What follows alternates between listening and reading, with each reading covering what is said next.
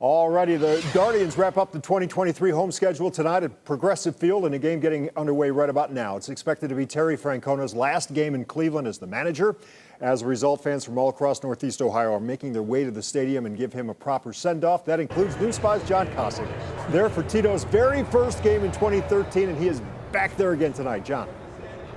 Rob, you know I was not going to miss this one. It was actually 11 years ago today that Manny Acta was fired as the manager of Cleveland. I remember doing a story that night on possible replacements, talking to fans. The name Terry Francona, it wasn't even on the radar, and if it was, it was some mythical wish list that he would come here.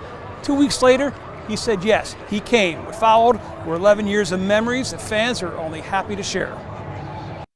The line outside of Progressive Field before the opening of the gates, a tribute to the man being honored this night. For Cleveland fans, Terry Francona wasn't just a manager, he was part of our family. And what do you do when a member of your family marks a milestone like this? You come out to support them. I mean, honestly, the guy's done so much for this team and the town and everything. It's it's hard not to get excited and you know want to give him some sort of a tribute despite what he may want. I mean, we came an hour away. You know, it just says what type of manager he is, what type of person he is and just how, you know, lovable he is. Francona felt like family because this city, this franchise is. This black and white photo is hung in his office. That's him as a young boy living every kid's dream, sitting on the dugout steps as his father Tito looked on. His father played six years in Cleveland, his greatest baseball achievements accomplished here. And so when his son became tribe manager in 2013, he called on his father and the fathers of his other coaches to collectively throw out that first pitch. Cleveland's as close to family as uh, familial feel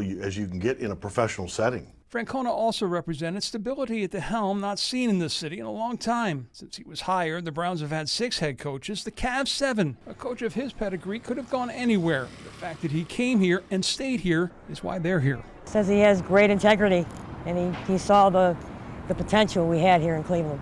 Yes, these fans came for a shared reason, but they leave with a shared thought. Going to be hard to replace. Replace on the field for sure, impossible to replace in our hearts. Live at Progressive Field, John Kosich, News 5.